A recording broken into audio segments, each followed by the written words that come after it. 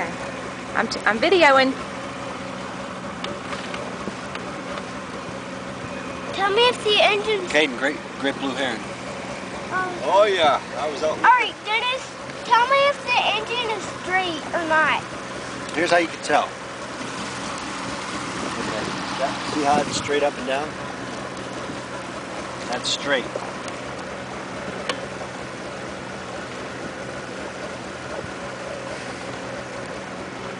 I might need you to spot race.